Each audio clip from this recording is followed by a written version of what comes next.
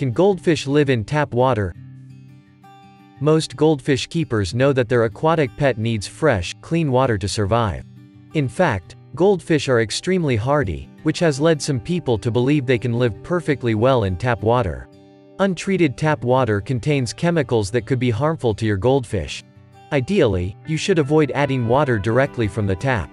In fact, some harmful additives and toxic substances in tap water can pose a grave risk to the survival of your aquatic pet.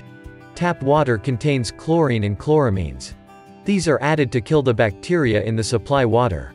Unfortunately, these are toxic enough to kill your goldfish as well. How to treat tap water for chlorine.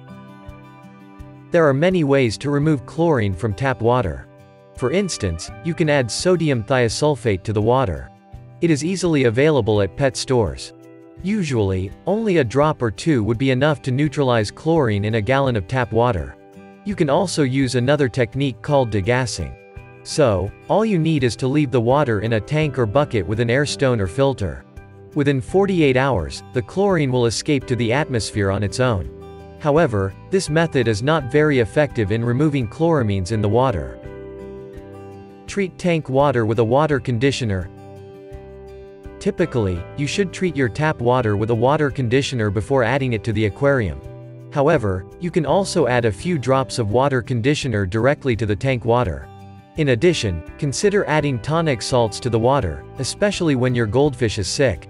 In fact, even a little amount of salt in the water can improve their gill function and heal injuries.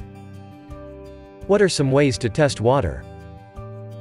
Once you know that the tank's water is not fit for your goldfish, testing can help pinpoint what it is that needs treating. Are high ammonia levels to blame? Or is the water too alkaline? Or, maybe your dechlorinator is not effective enough. You can conduct certain water tests at home, using test kits. For instance, if you suspect high ammonia levels, use an ammonia kit to perform an ammonia test.